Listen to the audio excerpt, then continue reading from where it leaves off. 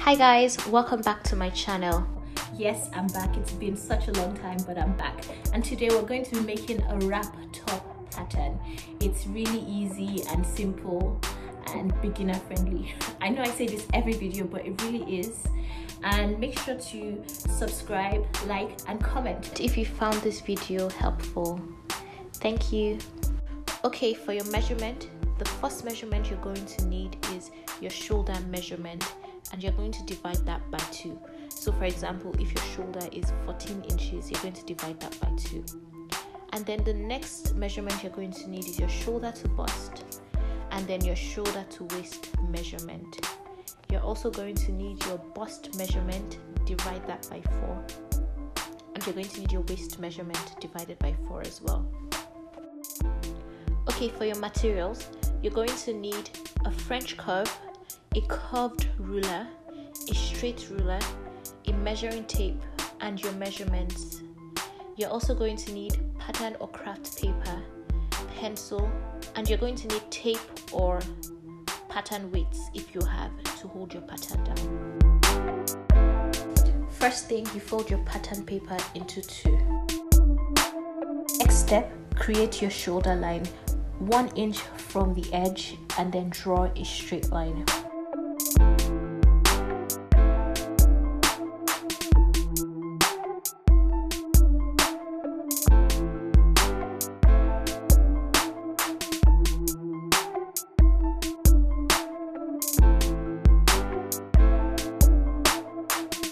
From your shoulder line, mark your shoulder to bust measurement. Mine was 10 inches and then draw a straight line.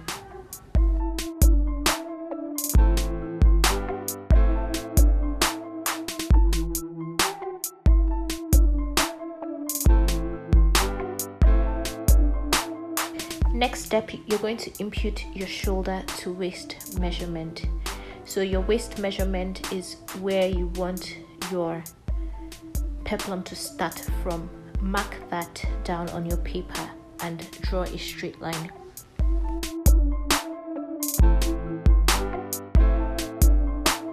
Then I move on to the neckline.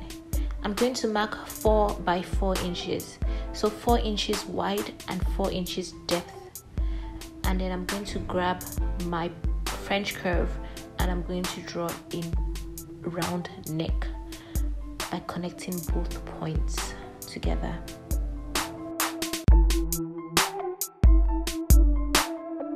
Next, we're going to move on to our shoulders. So get your shoulder measurement, divide that by 2 and mark that on the shoulder line. So mine came up to 8 inches.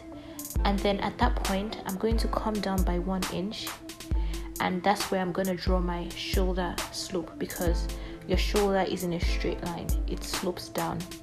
And I'm going to connect that point to my neckline in order to make my shoulder slope.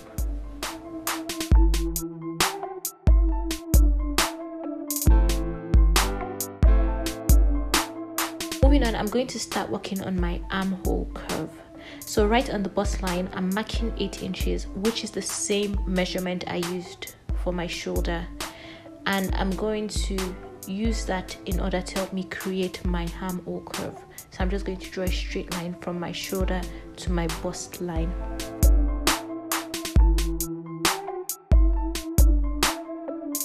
Next, I'm going to take the midpoint of that line I just drew. So I'm going to take the middle mark, the middle point,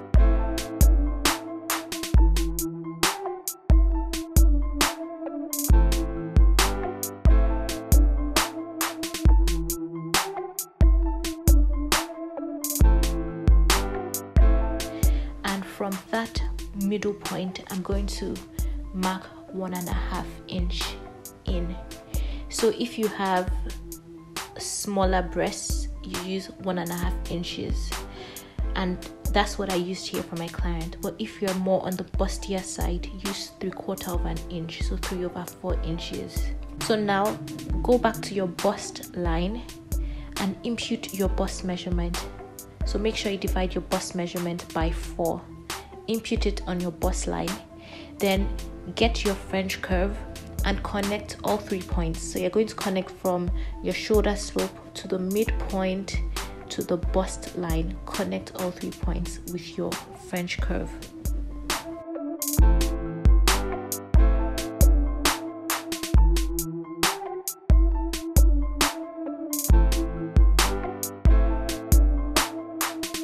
That's our armhole curve done. So next step, I'm just going to go ahead and create the darts. Here you just divide your nipple to nipple measurement by 2 and then you're going to mark that point on your bust line and your waistline. Then from that point on your bust line, you're going to come down by 1 inch and then connect from that very point down to your waistline with a straight line. Now to draw the dart legs from that straight line on your waistline, you're going to mark half an inch on both sides. And then from both points, you're going to merge it into the first line like so. The next step is you're going to use a tracing wheel and you're going to go over all the lines. This transfers your measurement to the other side of your pattern and then fill in the lines on the other side after tracing. This tracing wheel is very inexpensive. You can get one online at your local fabric store or if you don't have one, you can always just repeat the same steps you did on this side on the other side. So here I'm just finishing off my darts on the other side and tracing everything from that other from that first side to the other side.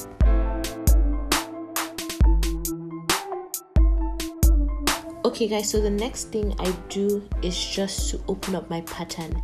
So I forgot to tell you that you should impute your waist measurement after everything.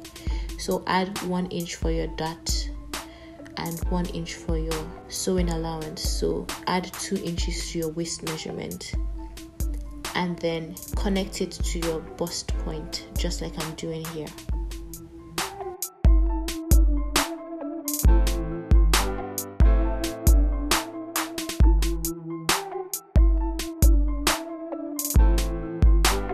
And do that for the other side as well.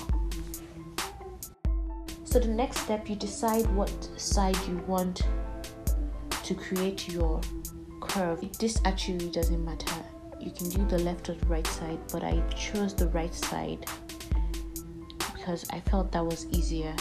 So I chose the right side, and then from that right hand side dot, from that middle point, I measure two inches outside, outward.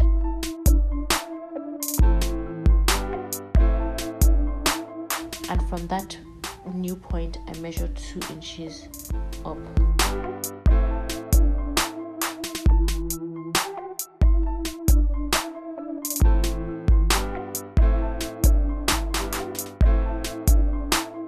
Now I'm just going to grab my curved ruler and from my left neckline I'm going to draw a curved line right to that new point I made can use a straight ruler if you don't have a curved ruler but I think a curved ruler is better It makes it prettier but you can use a straight line if you want a straight ruler if you want.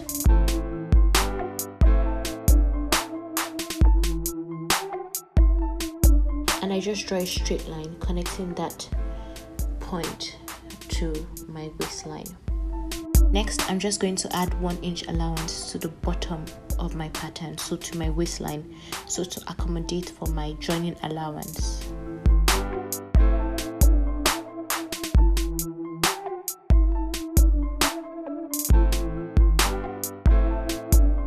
And then just cut your pattern out.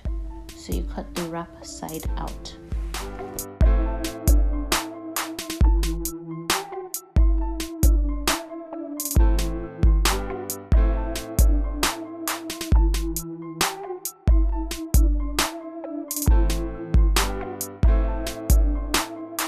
So remember to label on your pattern that you're going to need two. So remember that when cutting your material. Now that we're done with the front pattern, we're going to cut the back pattern. This time you're not folding anything and you're just going to start from the edge of the paper. So I'm literally doing the same thing I did from the start of the video. I'm going to draw the shoulder line but the neckline here will be one inch deep because it's the back.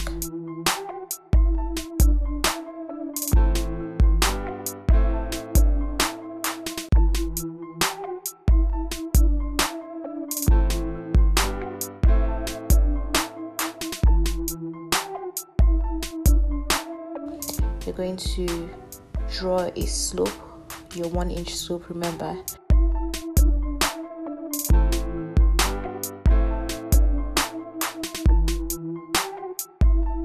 You're going to mark your bust line. You're going to draw your waistline. Remember to leave allowance as well at the bottom. Impute your measurements with allowance. So impute your bust measurement with sewing allowance as well and then your waist include your waist measurement plus two inches so one inch for your dart allowance and 1 inch for sewing allowance.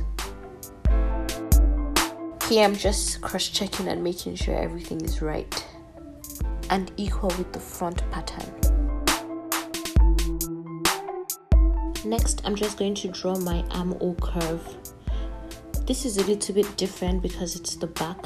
So instead of going half an inch in like I did the front pattern there's no need to do that here because your back is flat. So I found the midpoint for that line I drew and then I just connected the line with a French curve and I created my armhole. That's it done. And then the last step is just for you to draw in your darts cut out the pattern and that's it we're done the front and back wrapped up pattern created easy peasy right Alright, so tune in for the next video. There, I'll be cutting the sleeves and showing you how to cut a peplum and sewing the top, putting everything together. Thanks for watching and see you in the next video. Bye.